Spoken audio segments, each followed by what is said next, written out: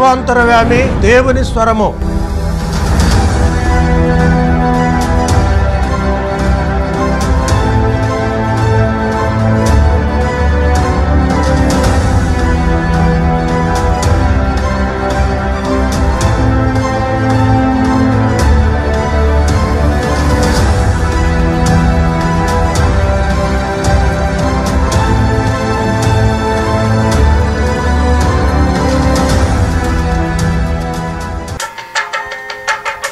ప్రైజ్లా హల్లెలూయా దేవునికి స్తోత్రం. నా జ్యేష్ఠ భాగస్వామి నీతోనే నాతి చరామి ఎవరేమన్ననేమి నీ మాటే నాకిలహామి. నీ కృప చాలు యేసు స్వామి. నా జ్యేష్ఠ భాగస్వామి నీతోనే నాతి చరామి ఎవరేమన్నానేమి నీ మాటే నాకిల నాకిలహామి నీ కృప చాలు యేసు స్వామి. కృప చాలు యేసు స్వామి. నీ మాటే నాకిల నాకిలహామి నీ కృప చాలు యేసు స్వామి. నీ మాటే నాకిల నాకిలహామి నా జ్యేష్ఠ భాగస్వామి నీతోనే నాతి చరామి ఎవరేమన్నానేమి నీ మాటే నాకిల హామీ. నీ కృప చాలు యేసు స్వామి. కరువులెన్నైన రాని కష్టమేమైన గాని నా కాపరివై నీవు ఉండగా నాకు కలుగదులేమి. కరువులెన్నైన రాని కష్టమేదైన కానీ నా కాపరివై నీవు ఉండగా నాకు కలుగదులేమి. కృపచాలు ఏసు యేసు స్వామి నీ మాటే నాకిలహామి నీ కృపచాలు ఏసు యేసు స్వామి నీ మాటే నాకిలహామి నా జ్యేష్ఠ భాగస్వామి నీతోనే నాతి చరామి ఎవరేమన్నానేమి నీ మాటే నాకిలహామి నీ కృప చాలు యేసు స్వామి. కృప చాలు యేసు స్వామి. నీ మాటే నాకిలహామి నీ కృప చాలు యేసు స్వామి. నీ మాటే నాకిలహామి కలతలెన్నైన కానీ ఖడ్గమే ఎదురు రాని నాకు కేడమై నీవు ఉండగా హాని కలుగదు ఏమీ. కలతలెన్నైన రాని ఖడ్గమే ఎదురు రాని నాకు కేడమై నీవు ఉండగా హాని కలుగదు ఏమీ. కృపచాలు యేసు స్వామి నీ మాటే నాకిలహామి నీ కృపచాలు యేసు స్వామి నీ మాటే నాకిల హామీ. నా జ్యేష్ఠ భాగస్వామి నీతోనే నాతి చరామి ఎవరేమన్నానేమి? నీ మాటే నాకిలహామి నీ కృప చాలు యేసు స్వామి. నీ మాటే నాకిలహామి నీ కృప చాలు యేసు స్వామి. ప్రైజలాడ్ హలలుయ ప్రార్థన మహాగణత వహించిన మా యేసు మీ ఘనమైన పరిశుద్ధమైన శ్రేష్టమైన అతి మనోహరమైన నామాన్ని బట్టి మీకే వేలాది వేల వందనాలు కోట్లాది కోట్ల స్తోత్రాలు చెల్లిస్తున్నాం. ఈ సాయంకాల సమయాన్ని మీరు మాకు అనుగ్రహించినందుకై మీకు వందనాలు చెల్లిస్తున్నాం. ఈ కార్యక్రమం ద్వారా మీ సన్నిధికి వస్తుండగా ఎంతమంది అయితేనైనా నీ వాక్యమును ఆలకిస్తున్నారు. ప్రతి వారి హృదయములను ఆకర్షించి ఎత్తిపట్టి మీ ఆత్మతో అభిషేకించి స్వస్థతపరిచి బిడలనైనా ప్రతి రుగ్మతులను అనారోగ్యం నుండి విడుదల కలిగించి ప్రతి సమస్యల నుండి మీరే విడుదల కలిగించి కరోనా భయం నుండి ఒమెక్రాన్ నుండి విడుదల కలిగించి స్వస్థ చిత్తులుగా చేసి మహిమతో ఆనందముతో ఆరోగ్యముతో నింపమని ఆశీర్వాదములతో నింపమని నజరేడైన ఏ సునామున ప్రార్థించి వేడుకుంటున్నాం తండ్రి. ఆమెన్. ఈ కార్యక్రమాన్ని మీకు సమర్పించిన వారు బెజ్జం కృష్ణ గారు కుమారి గారు చైతన్య సుమంతు అనూష. వీరు క్రీస్తు రాజపురం విజయవాడ నుండి మనకు స్పాన్సర్ చేసి ఉన్నారు వీరు గవర్నర్పేటలోని కీర్తిశేషులు అర్జా శకుంతలమ్మ గారి యొక్క సంఘ సభ్యులు church of God in India సంఘ సభ్య విశ్వాసులుగా ఉన్నారు. మరి ప్రేక్షకులు వీరి కొరకు ప్రార్థించాలని ప్రభు పేరిట మనవి చేస్తున్నాం. ఈ దినమున మనం ధ్యానించుకునే అంశము యేసు క్రీస్తు అందరికీ ప్రభువు.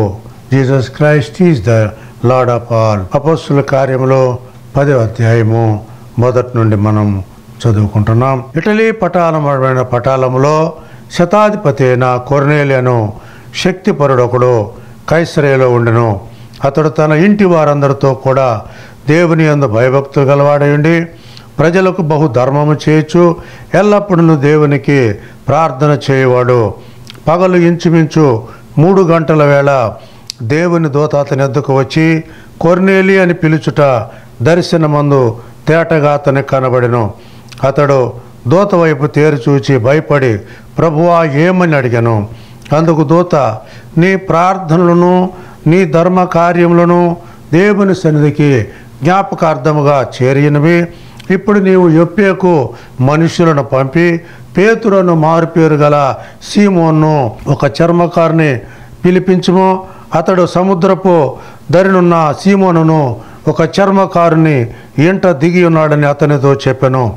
అతడు మాట్లాడిన దూత వెళ్ళిన పిమ్మట అతడు తన ఇంటి పనివారిలో ఇద్దరిని తన యొద్ద ఎల్లప్పుడూ కనిపెట్టుకుని ఉన్న వారిలో భక్తిపరుడు ఒక సైనికుని పిలిచి వారికి సంగతులన్నీ వివరించి వారిని ఎప్పకు పంపాను.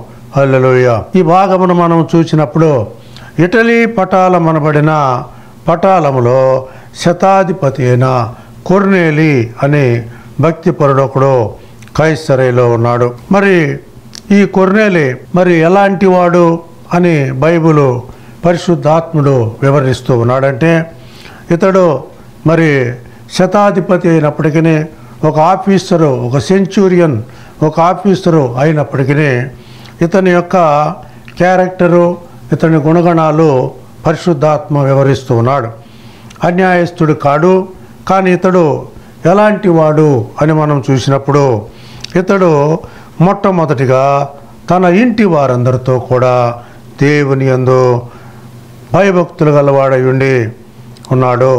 మొట్టమొదటిగా కొరనేలు యొక్క మంచి లక్షణము ఏమిటంటే తన ఇంటి వారందరితో కూడా భయభక్తులు కలిగి ఉన్నాడు. చాలామంది రక్షణ పొందిన తర్వాత వారి రక్షణ వారే కొనసాగించుకుంటారు కానీ మరి ఇంటి సభ్యుల గురించి ఆలోచించరు. నువ్వు రక్షణ పొందినప్పుడు మరి నీ భర్త రక్షణ పొందినాడా? లేదా నీ భార్య రక్షణ పొందిందా? నీ కుమారుడు రక్షణ పొందినారా? నీ కుమార్తె రక్షణ పొందినారా? నీ అల్లుళ్ళు రక్షణ పొందినారా? అలాగే మరి నీ బంధువులు నీ ఇంటి వారందరూ యేసు ప్రభును విశ్వసించినారా అని మనము పరిశీలించుకోవాల్సి ఉంది. కార్యము పదహారవ అధ్యాయంలో మరి పౌలు శీల మరి ఫిలిపి అనే పట్టణానికి వెళ్ళి సువార్తను ప్రకటించినప్పుడు మరి వారు పూతోను అనే దయ్యమును వెళ్ళగొట్టినప్పుడు వారిద్దరిని ఒకటి తక్కువ నలభై దెబ్బలు కొరడా దెబ్బలు కొట్టి ఫిలిపి చెరసాల్లో బంధించినారు. అయితే మధ్యరాత్రి వేళ పౌలు శీల మరి పాటలు పాడుచు దేవునికి ప్రార్థన చేసినప్పుడు గొప్ప భూకంపం వచ్చింది. చెరసాల నాయకుడు తను తాను కత్తితో ఆత్మహత్య చేసుకొని పోయాడు. అప్పుడు పౌలు అన్నారు నువ్వే హాని చేసుకుని వద్దు. మేమందరం ఇక్కడే ఉన్నామని చెప్పి చెప్పినప్పుడు అతడు దీపం వెలిగించి వచ్చి చూచి వారి గాయములను చూచి మరి వారికి ఎంతో పరిచర్య చేసినాడు. వారి విశ్వాసమును చూసినప్పుడు ఆ చెరసాల నాయకుడు అంటున్నాడు అయ్యలారా రక్షణ పొందుటకు నేనేం చేయాలి? అని అడిగినాడు. అప్పుడు అందుకు వారు అన్నారు ప్రభైన యేసునందు విశ్వాసం ఉంచుము. అప్పుడు నీవును నీ ఇంటి వారును రక్షణ పొందుదురు.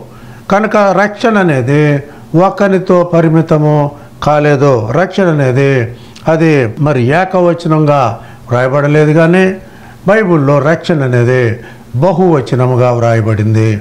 అంటే ఇది మల్టిపుల్ అనగా అనేకులకు ప్రయోజనకరంగా ఉండేదే రక్షణ. మరి జక్కయ్య రక్షణ పొందినాడు. మరి జక్కయ్య జక్కయ్యని గురించి యేసుప్రభు ఏమన్నా అంటే జక్కయ్య నువ్వు త్వరగా దిగుము. నేడు నేను నీ ఇంట ఉండవలసి వచ్చింది. ఇతడును అబ్రహాము కుమారుడే. ఎందుకనగా నేడు ఈ ఇంటికి రక్షణ వచ్చి ఉన్నది. నశించిన దాన్ని వెదకి రక్షించుటకై మనుష్య కుమారుడు వచ్చినని యేసుప్రభు చెప్పాడు. కాబట్టి యేసుప్రభు ఎందుకొరకు వచ్చాడు ఈ లోకానికి? అంటే నశించిన దాన్ని వెతకి రక్షించడానికి. యశ్వ్రభు ఈ లోకానికి ఎందుకు వచ్చాడంటే పాపులను రక్షించడానికి ఈ లోకానికి వచ్చాడు. యేసుప్రభు ఇంకా ఎందుకొరకు ఈ లోకానికి వచ్చాడంటే దయ్యములను వెళ్ళగొట్టడానికి ఈ లోకానికి వచ్చాడు. యేసుప్రభు ఇంకా ఈ లోకానికి ఎందుకు వచ్చాడంటే రోగులను స్వస్థపరచడానికి వచ్చాడు. యేసుప్రభు ఇంకా ఎందుకు ఈ లోకానికి వచ్చాడంటే మరి ప్రకృతిని మరి శాసించడానికి వచ్చాడు. పెను తుఫాను ఆయన గద్దించినాడు. అది మిక్కిలి నిమ్మలమై ఊరుకుంది. మరి కరోనా కొరకు మనము ప్రార్థన చేయాలి. మరి కరోనా కొరకు ప్రార్థించినట్లయితే దేవుడు శాసించినట్లయితే ఈ కరోనా కూడా నిలిపివేయబడుతుంది. అంత ప్రార్థన మన వాళ్ళు చేయలేకపోతున్నారేమో. అంచేత ఇది విజృంభించి దానికి భయపడిపోతున్నారు. ఆ కరోనా అనేది విజృంభిస్తూ ఉంది. కాబట్టి ఇక్కడ మనం చూసినప్పుడు కొర్నేలు మొట్టమొదటి లక్షణం అనగా అతడు తన ఇంటి వారందరితో కూడా దేవుని యందు భయభక్తులు గలవాడై ఉన్నాడు. అలాగే యోబు గ్రంథంలో కూడా మనం చూసినప్పుడు యోబు అనే మనుషుడు ఊజు దేశంలో యోబు అని ఒక మనుషుడు నేను అతడు బహు ధనవంతుడనై ఉండి మరి అతడు ఇంకా నీతిమంతుడు అలాగే దేవుని యందు భయభక్తులు గలవాడు విశ్వాసము గలవాడు తన ఇంటి వారి కొరకు ఉదయాన్నే లేచి బలులు అర్పించేవాడని మనం అక్కడ చూస్తూ ఉన్నాం. యోబు తన యొక్క రక్షణను తన నీతిని ఒక్కడే చూసుకోలేదు. అతడు బహుళ అర్థముగా ఆలోచించినాడు. అలాగే అబ్రహాము ఒక్కడే చూసుకొనలేదు అబ్రహాము అనగా ఆ మాటకున్న అర్థం ఏంటంటే Abraham means the friend of God and the father of the faithful Abraham అనగా దేవునికి స్నేహితుడు అలాగే విశ్వాసులకు తండ్రి అనేక మందికి తండ్రి. అందుకనే దేవుడు చెప్పాడు ఆది కాండం పన్నెండో అధ్యాయంలో నీ వలన అనేక రాజులు ఉదయిస్తారు. నీవు అనేక జనములకు తండ్రి అవుతావు. You are father of the many nations నీవు అనేక జనములకు తండ్రి అవుతావు. కనుక అబ్రహాము ఒక్కడే రక్షణ పొందలేదు. అబ్రహాము ద్వారా మరి అనేక జనములు ఆకాశ నక్షత్రములుగా అలాగే సముద్ర తీరమున ఇసుక రేణువులుగా మరి సంఖ్య విస్తరించింది. అలాగే నువ్వు రక్షణ పొందినప్పుడు నీవు ఒక్కడివే ఎప్పుడు వస్తూ పోతూ ఉండకూడదు. నీవు అనేక మందిని క్రీస్తులోనికి ఆకర్షించవలసిన వాడుగా ఉన్నావు. కొరనేలు విషయంలో మనం చూసినప్పుడు ఇతడు తన ఇంటి వారందరితో కూడా దేవుని యందు భయభక్తులు గలవాడుగా ఉన్నాడు. రెండవదిగా కొర్నేలు ఇంకా ఎలాంటి వాడు ప్రజలకు బహు ధర్మము చేసేవాడు. రెండవ గుణం ఏమిటంటే మరి కొంతమంది భక్తులుగా ఉంటారు చాలా పిసినితనముగా ఉంటారు. క్రైస్తవ్యంలో చాలామంది గుళ్ళకి వస్తుంటారు ఎడతెక్క వస్తారు షెడ్యూల్ ప్రకారం వస్తారు. సోమవారం వస్తారు మంగళవారం వస్తారు బుధవారం వస్తారు గురువారం వస్తారు శుక్ర శని ఏ కూటాన్ని పోనివ్వరు. కానీ వారి చెయ్యి మాత్రము మారదు. వారి హృదయం మాత్రము మారదు. పిసినితనముగా ఉంటారు. చాలామంది సంఘాల్లో నాటుకొని ఉంటారు. యాభై ఏళ్ళ నుండి వందేళ్ళ నుండి పిసినిగొట్టులు. కాబట్టి పిసినిగొట్టులు ఎంగిలి చేతితో కూడా కాకిని తోలినటువంటి పిసినిగొట్లు కొంతమంది ఉన్నారు సంఘాల్లో. కాబట్టి నీ వలన ఏ ప్రయోజనం ఉండదు. దేవునికి ఉండదు సంఘ కాపరికి ఉండదు ఏ ఉండదు. కాబట్టి కొరనేలుని గురించి మనం నేర్చుకోవాల్సింది ఏంటంటే అతడు రెండవదిగా ఎల్లప్పుడూ బహు ధర్మాలు చేసేవాడు. ఇతడు గివర్. కాబట్టి ఇతడు బహుగా ధర్మాలు చేసేవాడని మనం చూస్తూ ఉన్నాం. ధర్మగుణం ఉండాలి. మరి ఒక విశ్వాసి రక్షణ పొందినప్పుడు అతనికి ధర్మగుణం ఉండాలి.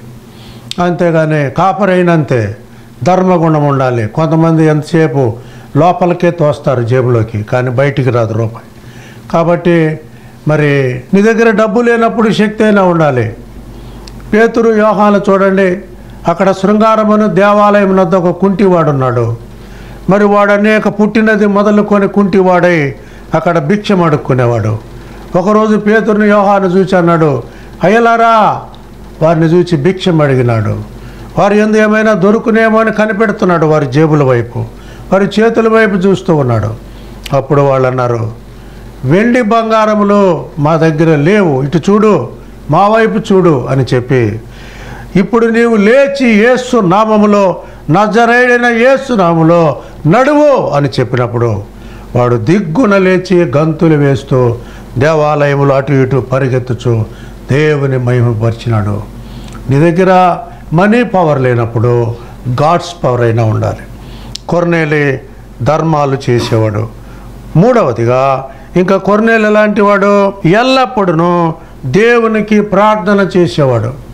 Always he was pray to God మూడవదిగా ఎల్లప్పుడూ దేవునికి ప్రార్థన చేసేవాడు. ప్రార్థన పరిస్థితులను మార్చును. బైబిల్ గ్రంథము మొదటి తెశలోనికి ఐదవ అధ్యాయము పదిహేడవ వచనములో ఎడతెగక ప్రార్థించుడి. ప్రార్థన రెండు విధములు. ఒకటి the prayer of ఇమిగ్రి integration the prayer of intercessional Lukasu వార్త పద్దెనిమిదవ అధ్యాయము మొదటి వచనములో యేసు ప్రభు చెప్పినాడు మీరు విసుకక నిత్యము ప్రార్థన చేయుడి. ప్రే అన్సెషనల్ ఎల్లప్పుడూ ప్రే ఆఫ్ రెసిస్టెన్స్. ఎల్లప్పుడూ దేవునికి ప్రార్థన చేయాలి. అయితే ఆ ప్రార్థన ఎలా ఉండాలి అంటే మరి అక్కడ యేసు ప్రభు చెప్పినాడు మరి పరిసయుడు సుంకరి పరిసయుడు డమ్మముగా ప్రార్థిస్తూ ఉన్నాడు. సుంకరేమో ఆకాశం వైపు కనులెత్తి చూచుటకైలను నేను పాత్రుడను కానని రొమ్ము కొట్టుకుంటూ అంగలారుస్తూ ఏడుస్తూ ఉన్నాడు. ప్రార్థన ఏ విధముగా ఉండాలి? దావీదు ఎలా ప్రార్థించినాడు? బైబిల్ గ్రంథం మనం చూసినప్పుడు దావిదన్నాడు ఒక కీర్తనలో దేవా దినమునకు ఏడు మారులు నేను నిన్ను ప్రార్థించుచున్నాను. Pray seven times for God a day ఏడు మారులు మనము దేవునికి ప్రార్థించవలసి ఉంది. దానియేలు గ్రంథమును మనం చూసినప్పుడు దానియేలు మీద వచ్చిన కంప్లైంట్ ఏమిటంటే ఇతడు దినమునకు ముమ్మారు ప్రార్థన చేస్తూ ఉన్నాడు. అనగా మూడు సార్లు ప్రార్థన చేస్తూ ఉన్నాడు. అయితే మనం రోజుకి ఒక్కసారైనా ప్రార్థన చేస్తున్నామా అని మనము పరిశీలించుకోవాలి. ప్రార్థన టిఎల్ హాస్బౌండ్ అనే భక్తుడున్నాడు క్రైస్తవుడు ప్రార్థన చేస్తే ఆకాశపు తలుపులు తెరవబడాలి పరలోకపు కిటికీలు మూయబడాలి అన్నాడు. కనుక ప్రార్థన చేస్తే ఏం జరగాలి అంటే అక్కడ పరిస్థితులు మార్చబడాలి. మరి ఇక్కడ కొర్నేలి ఎల్లప్పుడూ దేవునికి ప్రార్థన చేసేవాడు అని మనము చూస్తూ ఉన్నాము. ఎల్లప్పుడూ ఎడతెగక దేవునికి ప్రార్థన చేసే మరి ఆ తత్వము సంఘ కాపరికి ఉండాలి విశ్వాసకు ఉండాలి. అటు ఇటు తిరుగుతూ ఉంటారు చాలామంది. ఉదయం లేచిన కాడ నుండి సాయంత్రం పడుకునేదాకా తిరగడానికే వాళ్ళకి టైం చాలదు. మరి ఇక నువ్వు దేవుణ్ణి ఎప్పుడు ఎత్తుకుతావు? నువ్వు ఎప్పుడు ప్రార్థన చేస్తావు? అంటే నథింగ్. సున్నా. కాబట్టి ఎప్పుడు సంఘ కాపరి దేవుని ఎదుట ధూపం వేసేవాడిగా ఉండాలి. దేవాలయములో మరి నిప్పు ఆరిపోకూడదు. అగ్ని ఆరిపోకూడదు. అని బైబిల్ చెప్తుంది. అంటే నీవు ఎడతెగక దేవునికి ధూపం వేసేవాడిగా ఉండాలి. అరవై ఐదవ కీర్తనలో దావీదంటాడు ప్రార్థనను ఆలకించువాడా? సర్వ శరీరులు నీ వద్దకు వచ్చెదరు. నీకు మ్రొక్కుబడి చెల్లించవలసి ఉన్నది. సియోనులో మౌనముగా ఉండుట నీకు స్థుతి చెల్లించుటే అంటూ ఉన్నాడు. ఇంకా ప్రార్థనల గురించి మనము బైబిల్లో చూసినప్పుడు మరి కీర్తనల గ్రంథంలో మరి నలభై రెండవ కీర్తనలో కారు కుమారులు అంటున్నారు దుప్పి నీటి వాగుల కొరకై ఆశపడినట్లుగా మా ప్రాణము మీ కొరకై ఎదురు చూస్తూ ఉన్నది. కాబట్టి ప్రార్థన మరి ఎనభై నాలుగవ కీర్తనలో కౌరవ కుమారులు అంటున్నారు దేవా నీ మందిర ఆవరణను చూడాలని మా శరీరము మా హృదయము మా యొక్క మనసు ఆనందముతో గంతులు వేస్తున్నవి. నీ మందిరములో ఒక దినము నివసించుట వెయ్యి దినముల కంటే శ్రేష్టము అని బైబిల్ చెప్తుంది. యేసు ప్రభు చెప్పినాడు మీరు ఒక గడి అయినా ప్రార్థన చేయలేరా? కాబట్టి ప్రార్థన అనేది క్రైస్తవునికి ఇవ్వబడిన నియమాల్లో ఒకటి. ఒక భక్తుల నాడు ప్రార్థన విశ్వాసికి ఒక పక్షికి ఉన్న రెండు రెక్కలు ఉంటేనే అది ఎలాగూ ఎగరగలదో. అలాగే ఒక విశ్వాసికి ప్రార్థన ఉండాలి వాక్యం ఉండాలి. వాక్యము చదవాలి ప్రార్థన చేయాలి. ప్రార్థన చేయాలి వాక్యము చదవాలి. చాలామంది ప్రార్థన చేస్తారు కానీ వాక్యం చదవరు. చాలామంది వాక్యం చదువుతారు కానీ ప్రార్థన చేయరు. ఇవి రెండు ఒక విశ్వాసికి ఉన్నటువంటి మరి రెండు రెక్కలు లాంటివి పక్షికున్న రెండు రెక్కలు లాంటివి కనుక కొర్నేలి తన జీవితంలో అంత పెద్ద ఆఫీసర్ అయినప్పటికీ ఎల్లప్పుడూ దేవునికి ప్రార్థన చేసేవాడు. మరి చూడండి అతని భక్తి చూడండి. ఎడతెగక ప్రార్థన చేసేవాడు. విసుగక నిత్యము ప్రార్థన చేసేవాడు. ప్రార్థనలో పోరాడేవాడు. ఎఫప్రాను గురించి పౌలు చెప్తున్నాడు. మరి కొలసి పత్రికలో అతడు ప్రార్థనలో పోరాడుచున్నాడు. తిమోతిని గురించి పౌలు చెప్తున్నాడు. నీ కన్నీళ్ళు తలంచుకొని ఎల్లప్పుడు నేను నా ప్రార్థనల ఎందు నిన్ను జ్ఞాపకము చేసుకొనుచున్నాను అంటూ ఉన్నాడు. ఒక మనిషి ఒక వ్యక్తిని మనం జ్ఞాపకం చేసుకున్నప్పుడు అతడు ప్రార్థనాపరుడా కాడా అని దేవుడు చూస్తాడు. The prayerlessness is the sin అన్నాడు. ప్రార్థనలేమి పాపమునకు కారణము. సమయలు అన్నాడు నేను మీ గురించి ప్రార్థన చేయట మానట వలన యహోవా దృష్టికి పాపము చేసిన వాడినవును నా ప్రేయర్లెస్నెస్ ఈజ్ ద సీన్ ప్రార్థనలేమి భక్తి లేమి మరి జీవితంలో కొర్నేలి భక్తి వాడుగా ఉన్నాడు. ధర్మము చేసేవాడుగా ఉన్నాడు.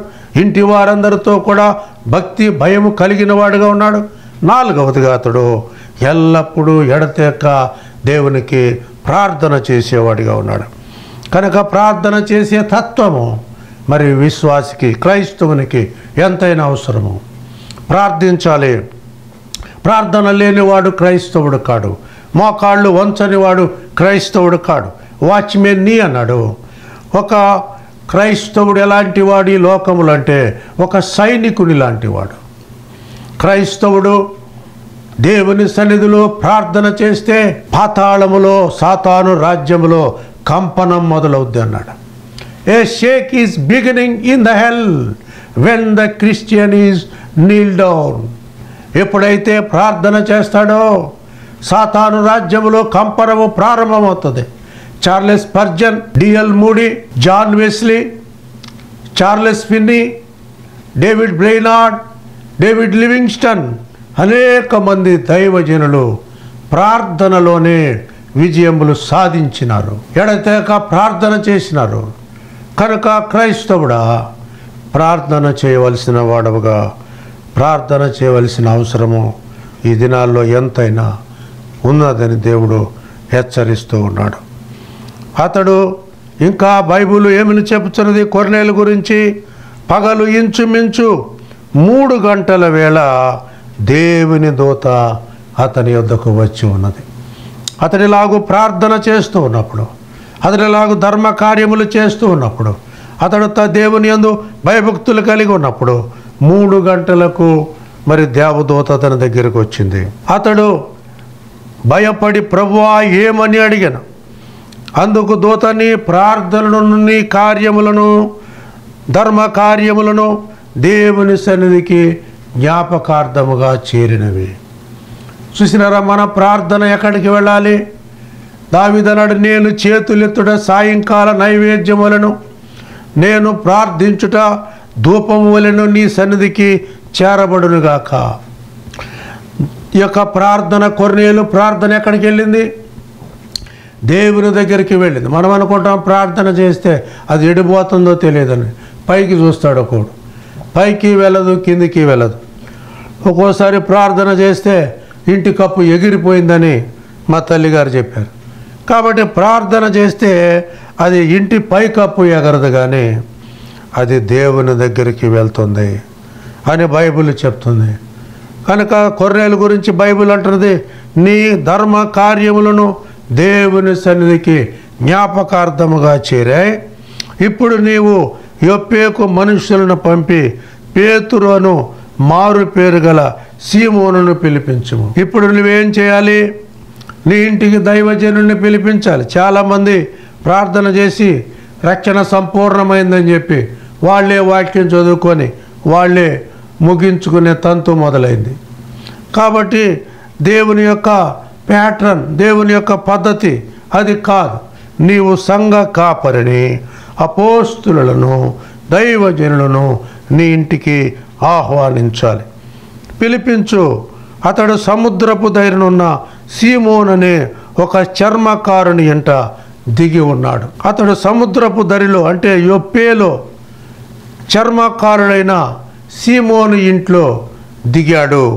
అడ్రస్ కూడా చెప్తున్నాడు. అతనితో మాటలాడిన దూత వెళ్ళిన పిమ్మట అతడు తన ఇంటి పనివారిలో ఇద్దరిని తన యొద్ద ఎల్లప్పుడూ కనిపెట్టుకొని ఉండి వారిలో భక్తిపరుడైన ఒక సైనికుని పిలిచి వానికి ఈ సంగతులు నీవు వివరించి వారిని యొప్పేకు పంపెను. కాబట్టి వెంటనే తన సైనికుల్లో ఒక ఇద్దరిని పిలిపించాడు. మరి తన దగ్గర నూరుగురు సైనికులు సైనికులు ఉన్నారు మరి ఇంకొక భక్తి గలవాడిని పిలిపించాడు. మీరు ముగ్గురు వెళ్ళి మరి యొప్పేకు వెళ్ళండి. అక్కడ చర్మకారుడైన మరి సీమోను ఇల్లు వెదకండి. అక్కడ పేతురనే మరి పాస్టర్ గారు దైవజనుడు అపోస్తులు ఉంటాడు. ఆయన పిలుచుకొని రండి అని చెప్పి వారిని పంపించినాడు. అప్పుడు వారు మరునాడు వారు ప్రయాణమైపోయి పట్టణమునకు సమీపించినప్పుడు పగలు ఇంచుమించు పన్నెండు గంటలకు పేతురు ప్రార్థన చేటుకు మిద్దె మీదకి ఎక్కెను. మరి మూడు గంటల సమయంలో దైవజనుడైన కొర్నేలికి దేవదూత ప్రత్యక్షమయ్యాడు. మధ్యాహ్నము పన్నెండు గంటల సమయంలో దైవజనుడైన పేతురునకు దేవదూత ప్రత్యక్షమయ్యాడు. కాబట్టి దేవుడు ఒక కాలమును మరి ఒక గడియను ఆశీర్వదించి సమయము ఎప్పుడు వస్తుంది అంటే మనము ప్రార్థనలో ఉన్నప్పుడు మాత్రమే దేవుడు ఆ సమయాన్ని ఆ గంటను ఆశీర్వదిస్తాడు. ప్రార్థన చేసుకుందాం. మహాగణత వహించిన మా యేసు మీ ఘనమైన పరిశుద్ధమైన శ్రేష్టమైన నామానికై వేలాది వేల వందనాలు స్థుతులు స్తోత్రాలు చెల్లిస్తున్నాం. ఎంతవరకు మోరి? మేము యేసు క్రీస్తు అందరికీ ప్రభు అనే అంశాన్ని ధ్యానించాం. చెప్పబడిన వర్తమానము బిడల హృదయాల్లో భద్రపరచండి బలపరచండి. కరోనా నుండి ఒమిక్రాన్ నుండి డెల్టా ప్లస్ నుండి వ్యారియంట్ నుండి విడుదల కలిగించండి. ప్రతి వారిని ఆశీర్వదించి దీవించి ఆర్థిక పరిస్థితులను మార్చుమని నజరుడైన యేసునామున ప్రార్థించి వేడుకుంటున్నాం తండ్రి. ఆమెన్. తండ్రి అయిన దేవుని ప్రేమ కుమారుడని యేసు క్రీస్తు కృప పరిశుద్ధాత్మీయత నుండి వచ్చే అన్యోన్య సహవాసమైన సన్నిధి భూలోకముదుడు సకల పరిశుద్ధుల విశ్వాసులకును ఆయన సముఖములో కూడి ఇంతవరకు ఆయన మాటలు శ్రద్ధగా ఆలకించిన ఆయన దాసులు దాసురాండ్రు ప్రతి ఒక్కరికి సదాకాలం తోడయుండి నడిపించునుగాక. ఆమెన్. ఏసు రక్తమే జయం శిలువ రక్తమే జయం సాతాను శక్తులకు సర్వం నాశనం నాశనం నాశనం.